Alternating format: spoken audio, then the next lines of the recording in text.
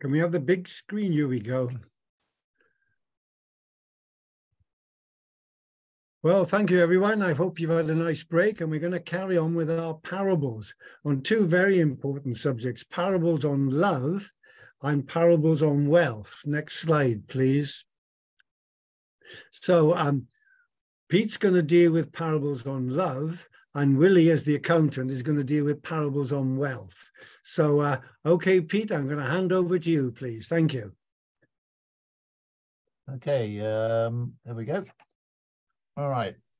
So, although this session has the title Parables on Love, I'm only going to talk about one parable. I'm not sure it's actually about love, which is probably the most overused and abused word in the English language these days. However, it's certainly one of the most beloved of all parables, traditionally referred to as the Good Samaritan. The Good Samaritan is set in the direct context of a theological dialogue between Jesus and a lawyer in Luke 10. There have been many attempts to allegorize it over the years, as we've already heard, from Marcion and Irenaeus to Origen through the Middle Ages and Reformation, often with Christ as the Good Samaritan and the inn as the church. However, Luke does not call it a parable, and it primarily exists as an exemplum, a short narrative used to point to a moral or sustain an argument. As a great story, we are drawn into it and can't help asking ourselves, what would I do in similar circumstances? Indeed, parables were told by Jesus to challenge the thinking of his listeners. And with the Good Samaritan, that challenge has only grown stronger over the years. So its main difficulty is not understanding it, but applying it in a modern setting. Next slide, please.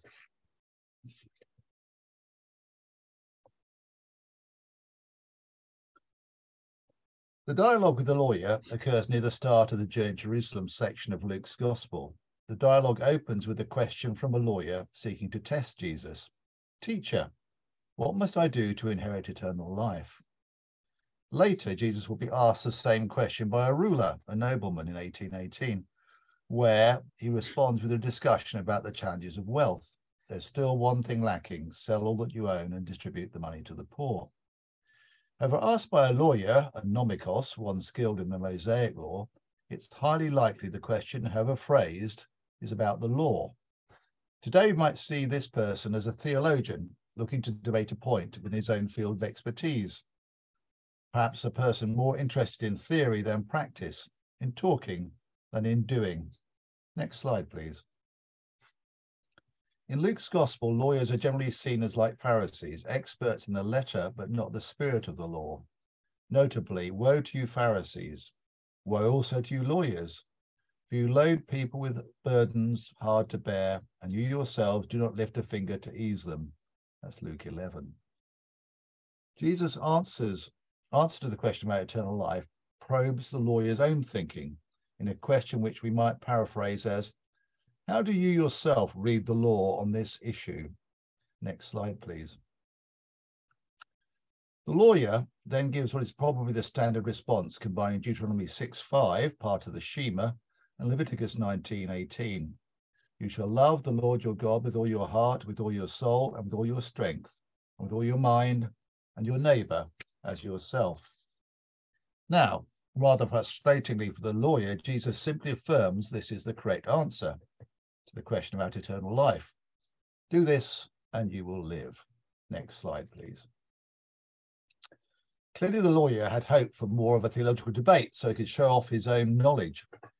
So, to get back into the game, he seeks out part of Leviticus 19 that might have been debated by legal experts.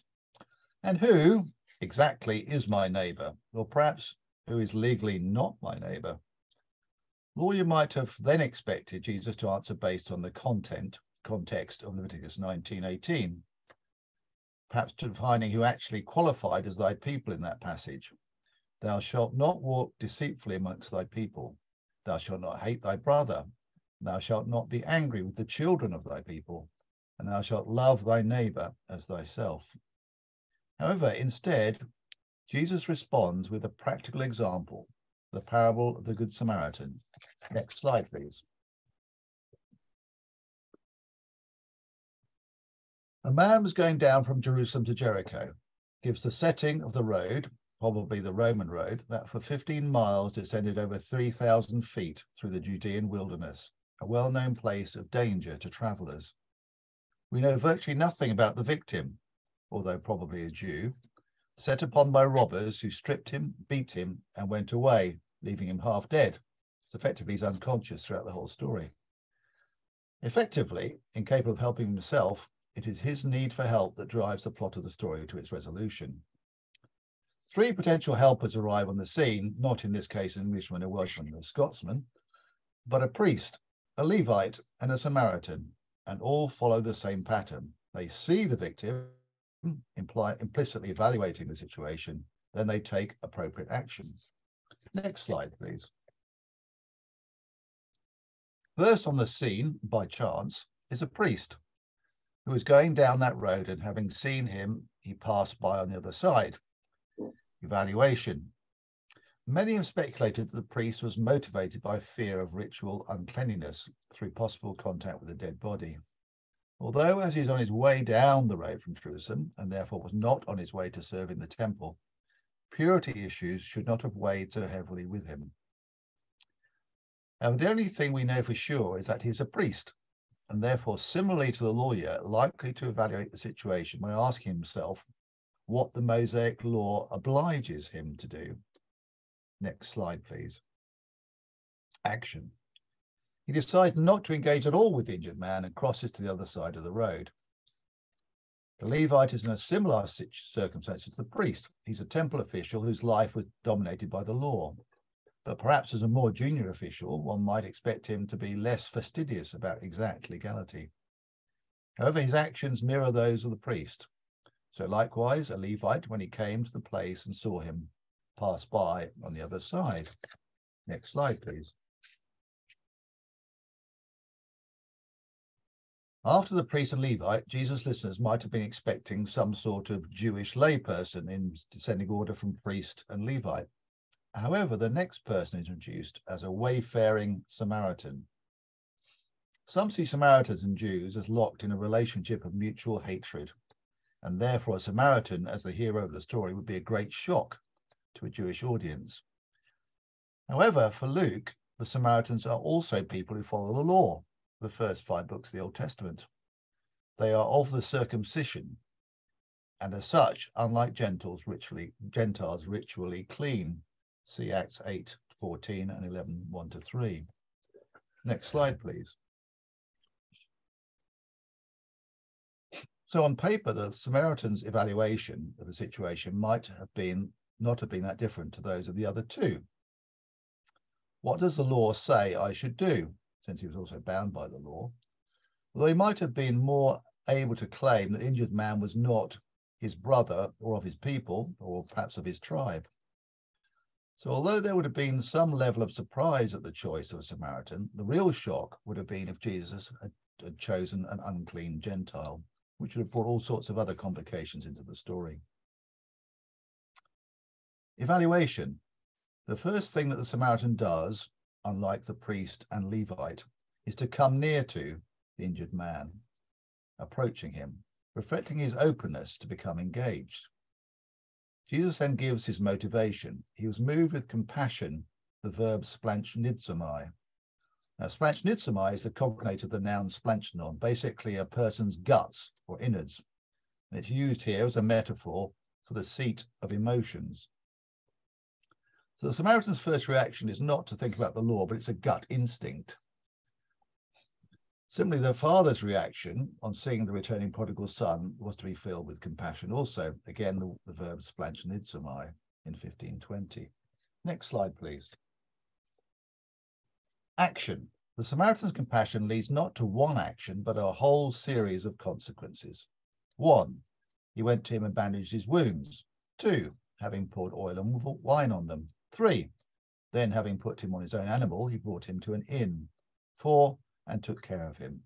Five, the next day he took out two denarii, gave them to the innkeeper, and said, Take care of him, and when I come back, I'll repay you whatever more you spend. Next slide, please. So, this is not an attempt to do the legal minimum, but an open ended commitment to the injured man. So I think this is the challenge for us today. We all face when we decide when we want to help somebody. Your first thought might be, where will it lead? How much will it cost us in terms of time, money, and stress, etc.? And often helping people is a very intensive thing. The case, uh, the care the Samaritan offers is not a model of moral obligation, according to Joel Green, but of exaggerated action grounded in compassion that risks much more than could ever be required or expected. Next slide, please.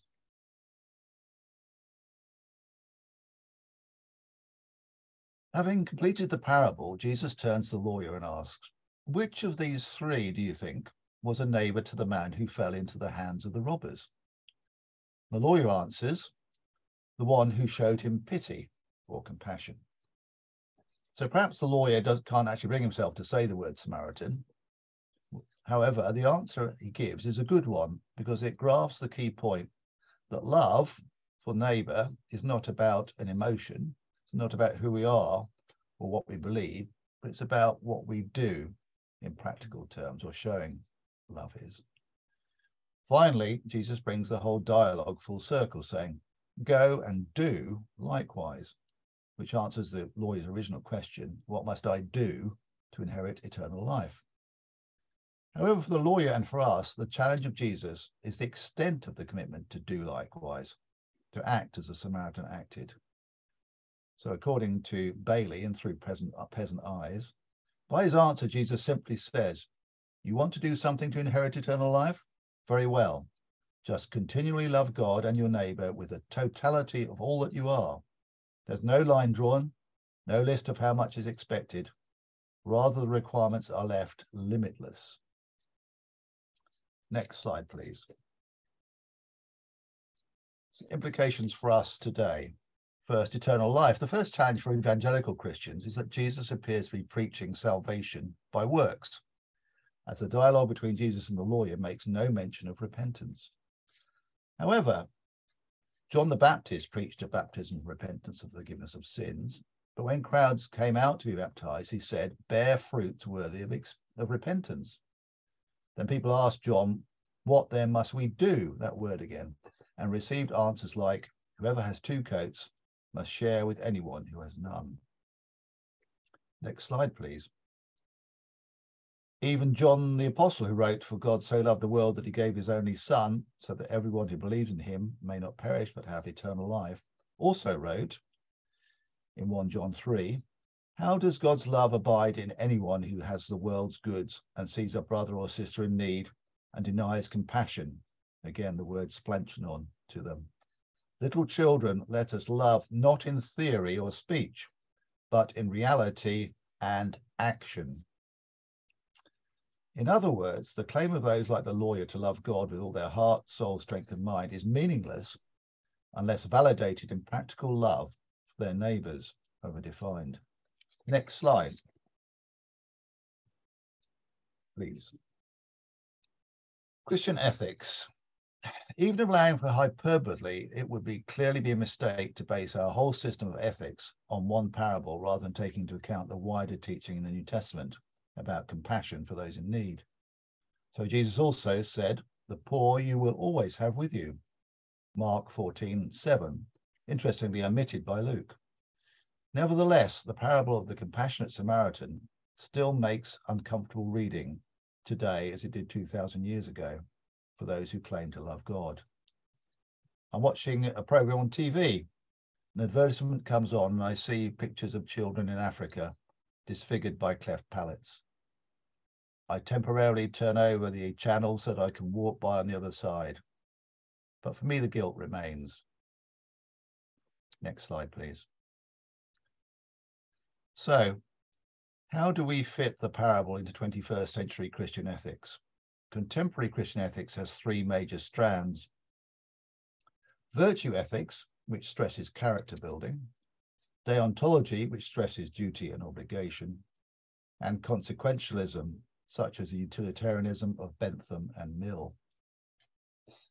In the dialogue with the lawyer, Jesus seems to be endorsing a form of virtue ethics in championing the virtue of compassion over adherence to the letter of the law which spells out obligations, in other words, deontology or duty. Aristotle and his followers, like Thomas Aquinas, emphasize that the purpose of ethics is to develop virtues which impel proper action, not merely to know what to do by applying the law, which can't fit every circumstance. Next slide, please. However, even if we develop a natural propensity towards the virtue of compassion, how can we, limited by our own resources, meet the open-ended commitments advocated in the parable? According to Fitzmyer, a neighbor is anyone in need with whom one comes into contact and to whom one can show pity, compassion again, and kindness, even beyond the bounds of one's own ethnic or religious group. The challenge in Fitzmyer's definition of a neighbor lies in the caveat with whom one comes into contact. The problem is that through modern media, we are aware of, come into contact with, an immense array of needs, meaning that almost anybody in the world could count as our neighbor. If we are not to burn out our resources overnight in a world of near infinite need, we must prioritize. For example, even if we decide to give up our house to a Ukrainian refugee, what about all the Afghan refugees?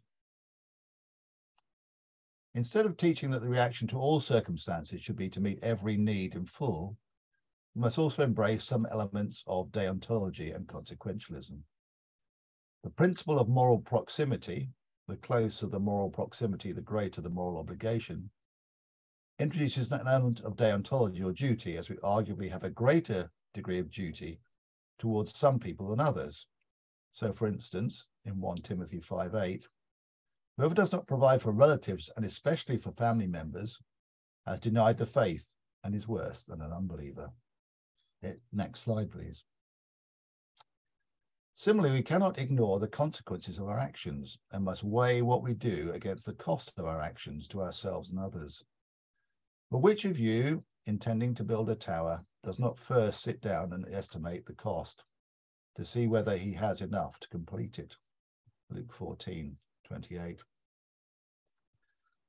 Conclusions. At the start of this talk, I said I was not sure the parable was about love, whatever that rather abstract concept means. It's certainly about the much more practical emotion or gut instinct of compassion. As I also said, Jesus told parables to challenge his listeners, not to provide simple answers to complex questions. Jesus did not answer the question about who is who is my neighbor, but instead indicated what it means to be a neighbor. If you accept somebody as your neighbor, that implies potential obligations of practical compassion towards them. The challenge for each of us is that we must define who is our neighbor, but be very careful. The word neighbor implies a nearness, a relationship, a connectedness. However, if on reflection you think that you have the obligations of Christian neighborliness to everyone, everywhere, regardless of their and your circumstances, then please feel free to send me your bank details and passwords, house keys, etc., and I'll make sure they're put to good use. Thank you. Thank you, Pete. I'll be sending you an email shortly then, in that case. Yes, it's. I, I, I think first number of points there. I think it was good you pointed out the Samaritans, who are descendants of Abraham, were circumcised and do keep the law, so they were not unclean, and many people forget about that. I think you're also right about the word love is greatly abused and overused in today's society. But of course, the agape love of the Bible, as you've pointed out, is a love of action. It's a love of doing. It's a love of doing. But it's so easy, like the priest and the Levite. Maybe they thought what they had to do was more important, and maybe the priest was going down to Jericho to perform some circumcisions or something, and so didn't want to. And it can it can actually cause a big problem if you're too bound by your traditions, by your habits, by the law. I remember some years ago, a friend of mine, a relatively new Christian, at nine o'clock at night, always regularly went to her bed room and read her Bible and prayed for an hour.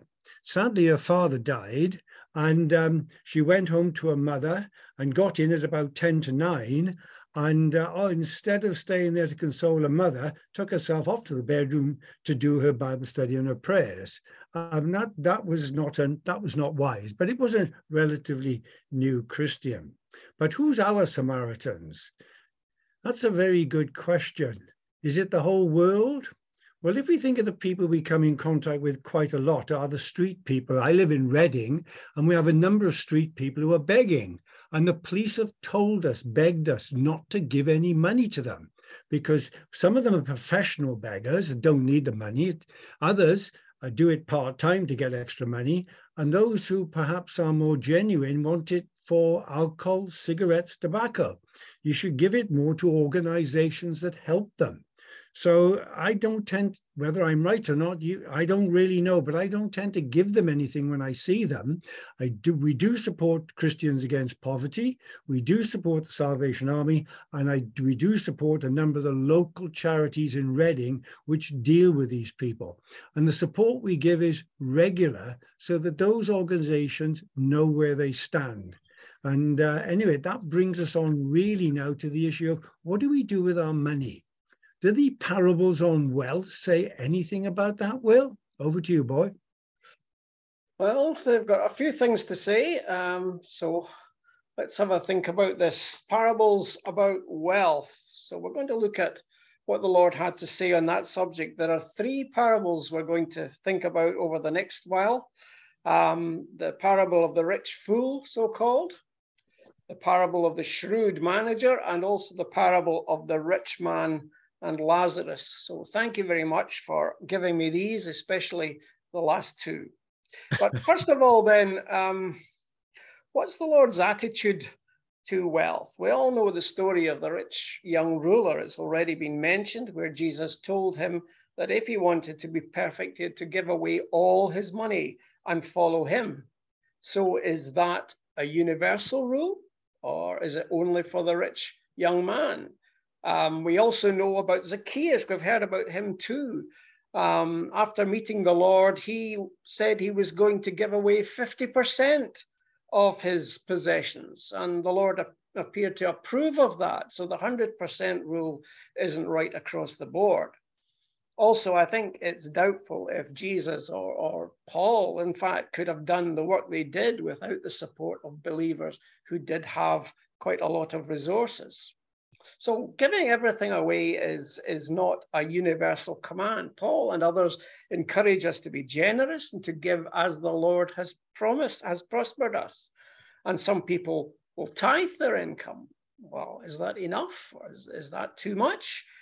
Perhaps at some times in our lives when we've got young children or big mortgages, studying at university, we need to be careful. But maybe later in life, when we've got less commitments, maybe we could afford to give more. It's something we need to think about very carefully.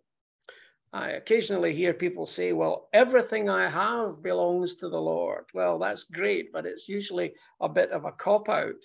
So if um, so if I if my car belongs to the Lord, how do, what does that mean in real terms? Well, I take a lady to church every Sunday, so that's that's using it for the Lord's work. I can't expect her to travel not in comfort, so I own a BMW. So where does the argument go here? At what point do we say this belongs to the Lord? This is uh, my own. I think as we as we look at these parables, I think the point that comes through is people's attitude to their possessions. Are they the possessions what give us a, as a sense of self worth? Are they where we put our trust? Do we feel secure because of our investments? Or do we feel secure because we belong to the Lord? And I think the first parable really spells this out. This is the parable of the rich fool in Luke chapter 12, verses 13 to 21. The parable is triggered by a question that Jesus is asked by someone in the crowd. It says, Teacher, tell my brother to divide the inheritance with me.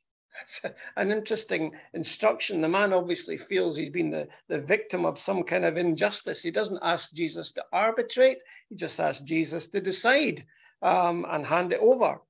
And Jesus will have none of this. He says, Man, who appointed me a judge or an arbiter between them, between you?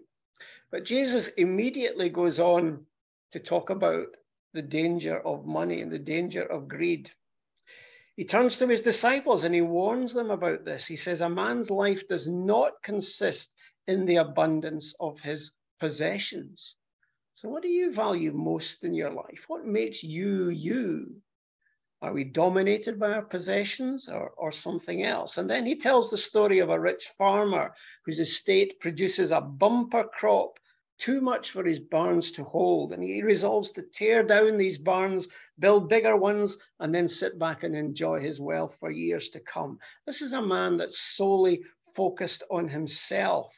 Look at what he says here in Luke 12, 18 to 19. Look at the number of times we get I or me or my or myself. This is what I'll do. I will tear down my barns and build bigger ones. And there I will store all my grain and my goods. And I'll say to myself, you have plenty of good things laid up for many years. Take life easy, eat, drink, and be merry. But unfortunately, God had other plans. And that very night, Jesus says, for emphasis, that very night, his life was demanded from him. I think that's more powerful than saying that very night he died. It's like saying that God is holding to him account and his life is forfeit. And finally, Jesus concludes in verse 21 there this is how it will be for anyone who stores up things for himself, but is not rich towards God. So there's the choice either store up for yourself or be rich towards God. What, what does rich towards God mean anyway? Well, rich where being rich where God is concerned is what how Phillips translates it. Perhaps not really all that much more clear. I think it's what Jesus called in the calls in the next section of Luke, building up treasure in heaven. In other words, he tells his disciples that they are to do this, build up treasure by seeking his kingdom. In other words, by living in ways that cultivate the kind of character that is appropriate for members of his kingdom. Generosity, putting others first. The Good Samaritan, of course, is an illustration of that. That's where our priorities should be. Shortly before lockdown, I was at a funeral service, and as we all filed out of the church at the end of the service. There were two men coming out who were immediately behind me. I didn't know them. They would probably be in their 50s or early 60s. And one of them was telling the other one how much money his company was making. And I felt like turning around and saying, Look, we've just buried a guy who's younger than you, who keeled over in his back garden with a heart attack. And you're talking about how much money you're making? So, where is our treasure? So, that's the parable of the so called rich fool. What about the parable of the shrewd manager? This second parable, I think, is considered to be one of the weirdest of Jesus' stories. And there are various views on, on what its meaning is. It comes at the start of chapter 16 of Luke, immediately after the stories of the lost sheep, the lost coin, and the lost son. So, unlike the parable of the rich fool, there isn't really a, a context that we have to go on. The basic story is this the hero, or perhaps the anti hero, is a man who's working for a manager. He's, work, he's a manager working for a rich man, and he's been accused of wasting his master's possessions, and he knows he's going to be sacked. So he goes around all the people who owe his master's master money and agrees to reduce their bills in the hope that if he loses his job, then maybe they'll be well disposed towards him and will perhaps give him a job with them. Though whether you'd want to employ someone like that is another issue. So it's a pretty sordid story. But what's really surprising is Jesus' comment on it. The master commended the dishonest manager because he had acted shrewdly. For the people of this world are more shrewd in dealing with their own kind than are the people of the light. I tell you, use worldly wealth to gain friends for yourselves, so that when it's gone, you will be welcomed into eternal dwellings. So, I mean, that's Jesus' apparent moral that he draws from it. You look at it and you think, well, the master commended him. The master is obviously as crooked as the manager was, recognized a kindred spirit, perhaps, congratulates him on his astuteness. But although he congratulates him, presumably he doesn't say he's pleased with what he's done. But what's the lesson for the disciples and, and for us too? I mean, is Jesus really commending that kind of behavior? Surely not. The commentators on this uh, come up with some amazing ideas, wonderful imagination. Some have suggested that the manager had added interest or usury to the bills, which was illegal against Jewish law. And what he was now doing was correcting these and putting them back to what they should be. There's nothing in the story to indicate that. But I think, in fact, that Jesus is making three separate, distinct points in the story. And I think we'll only get confused if we try to conflate these into one single message. First of all, I think if we're to see Jesus' meaning, we need to see the contrast he's making. Look at verse 8 there. And in verse 8, he says, The people of this world are more shrewd in dealing with their own kind than are the people of light. Now, Jesus is not saying that the disciples needed to get a tighter grip on their finances, not saying that they need to be more forward looking in their financial planning, because after all, he says there in verse 13, you cannot serve God, and money. So, therefore, the first point really is that the people of this world are more committed to focusing on what's important to them than the Lord's people are on focusing on what's important to them. The people of this world are more likely to prioritize the things that will help them to reach their goals than perhaps Christian people are. For example, the dishonest man manager works out this really complex scheme to make sure that he's going to be secure financially. Well, what lengths are we willing to go to to accumulate treasure in heaven, which is what Jesus was speaking about in chapter 12, in the next chapter? This is the kind of treasure, he says, that never corrupts. No one can steal it. He's already spoken about the lost sheep and the lost coin the owners will do anything to find. So, how much more should the disciples work to build up treasure in heaven? The problem for us is that often I think we have a, a foot in both camps, don't we? And in some aspects of our lives, we have the same priorities as the people who know nothing of the Lord. So, I think that's the first thing. We need to focus our priorities and perhaps some of the people that we see out there in the world who are, are solely focused on maximizing their wealth, maybe they've got a, they've got a point, but we should be focusing not on wealth, but on treasure in heaven. Second lesson, I think, is this if you can't be faithful in small, unimportant things, who's going to trust you with large, really important things? I mean, verses 10 to 12 there. Whoever can be trusted with very little can also be entrusted with much. And whoever is dishonest with very little will also be dishonest with much. So if you have not been trustworthy in handling worldly wealth, who will trust you with true riches? So there you've got a contrast there between worldly wealth, money, and so on, and true riches, treasure in heaven. Faithfulness, I think, is no accident. People who are faithful and honest in small things will be faithful and honest in the big things. See the, the contrast there in the middle verse between worldly wealth and true riches. If we are dishonest, like the manager in the story, with worldly things, is God really going to reveal his truth to us? I think the third point is very bluntly stated. Jesus picks up what he said earlier. He says, No man can serve two masters. Either he will hate the one and love the other, or he will be devoted to the one and despise the other. And then he says bluntly, You cannot serve God and money. So, where is our treasure then? Are we so earthly minded that we're no heavenly use? If you want to turn around that well known saying, if we are bogged down in the material things of this life, we lose out when we meet the Lord. This is really difficult, I think, how to be in the world, but not of the world, because we have to pay attention to material things to some extent and manage them wisely. How else can we support our families? How much should we give to the Lord's work? What sort of car should we be driving? But Jesus' parable, I think, obviously hits the mark because Luke says that in that the Pharisees who loved money sneered at the Lord when they heard this. But Jesus' final remark to the Pharisees really pushes the point home, I think. You are the ones who justify yourselves in the eyes of men, but God knows your hearts. What is highly valued among men is detestable in God's sight. So, first, we've got a, a parable about a man who's totally focused on himself and thought he was invincible. God stepped in and required his life from him.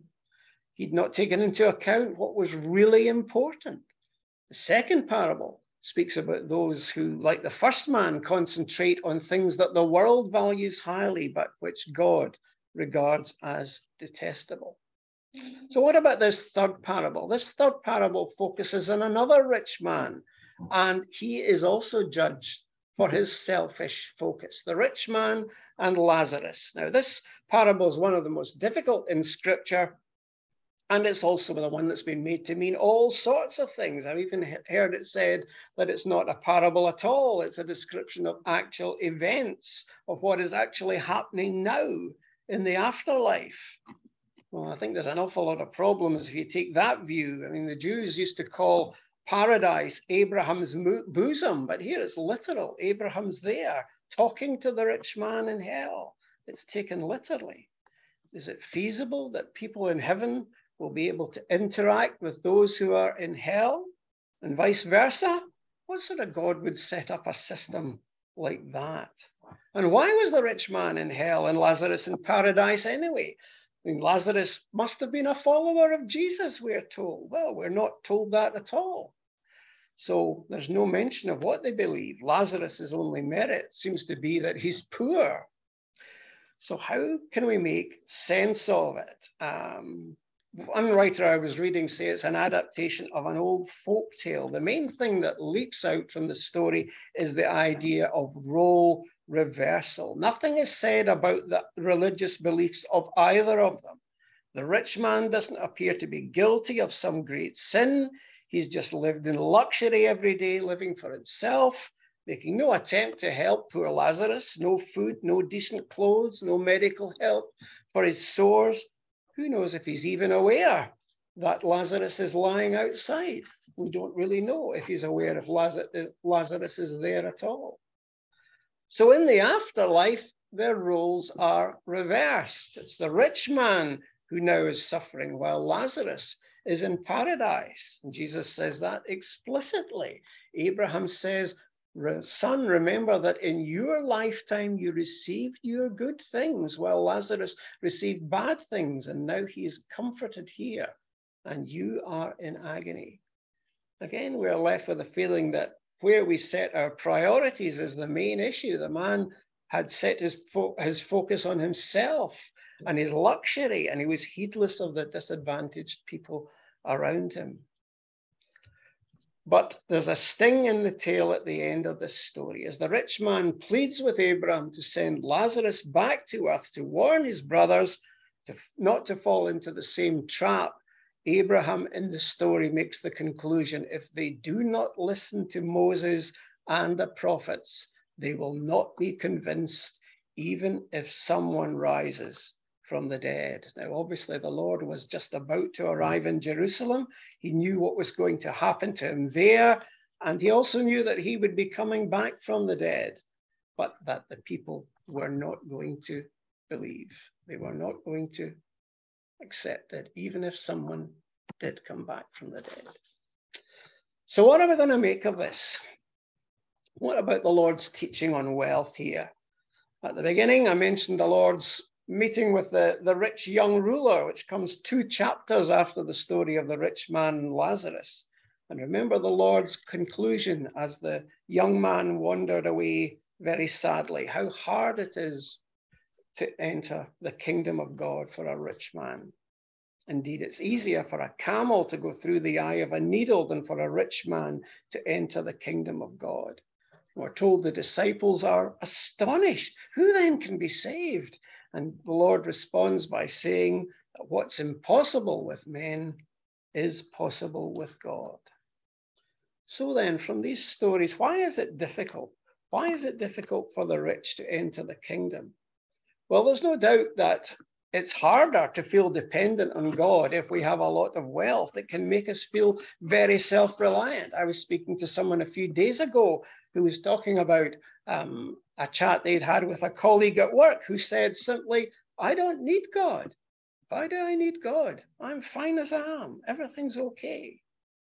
So it can make us self reliant. It could create feelings of greed or the enjoyment of luxury, and that takes up our time and our energy. Also, it can separate us from the needy, the needy people around us, because we just move in different circles, just like the rich man who probably didn't notice Lazarus at all.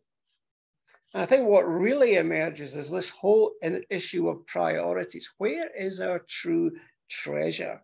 And where do we concentrate our efforts to build up our treasure? The rich farmer in the first story and the rich man in the third story are obsessed with their wealth and their luxury lifestyles. The second story of the dishonest manager tells us that the people of this world are more focused on what's important to them than we perhaps are on what's important to us. And it's tough for us, I think, because we're all faced with this big temptation in the form of wealth in one form or another. If we can't get that kind of wealth in perspective, Jesus says, how can you be entrusted with heavenly treasure? You can't serve both God and money. Something has to give. I mean, personally, I think uh, it's a big issue for us, this. Compared to an awful lot of people, we are wealthy, but we don't really think of it sometimes in these terms. And like the two rich men in Jesus' stories, we're not evil people. We don't go up to beggars in the street and burn 20 pound notes in front of them. We just don't see them. And therefore, we don't think about them. It's something that has bothered me greatly recently. I think in our country, prices are, are rising exponentially, largely driven by fuel costs and so on. But people are suffering real hardship. Demand for food banks is, is going up. What responsibilities do we have? Should we think about the people who are near to us? Who is my neighbor? Who realistically can we help? It is something that I think we do have to be very thoughtful about. Thank you, Will. Thank you for that very thought-provoking talk. And I, I tend to agree a comment you made earlier on about different times of our life, we can do um, different uh, things. I know when I just after I bought my first flat before I was married, the mortgage rate went from 6% to 14.5%. I had to take two extra jobs and um, I didn't have hardly any money to give. But you know, once the kids left home, all of a sudden I had all this spare money. So I could give more. It'd be quite incredible, really. The other thing is that what you say about the people of this world are more committed than the people of light. And I think I saw that this morning. My daughter and her husband, they have three boys who all play Saturday morning football. She won't do Sunday morning football because they go to church. And I'm amazed at the commitment of the people there to teaching their children football. The amount of time they give up, they give up Saturday mornings and an evening in the week and everything like this. And I find really that uh, I question where are they these football fanatics are more committed than some Christians. So there we go. So, parables of a materialistic society. I don't really want to be wealthy. I like Mr. Micawber, who, if I, in the Dickens character, if I put it in modern terms, who said, if it costs me a £100 a week to live and I earn 95, I'm of all men most miserable. If it costs me a £100 a week uh, to live and I earn 105 pounds a week, I am of all men most happy. And I think that's what I like. I like a little bit of extra. I don't really want a lot of extra because I'm not confident in myself that I would use it wisely.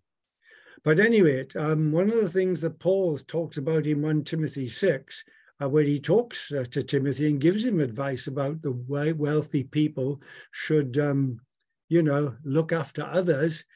And he then says, godliness with contentment is great gain.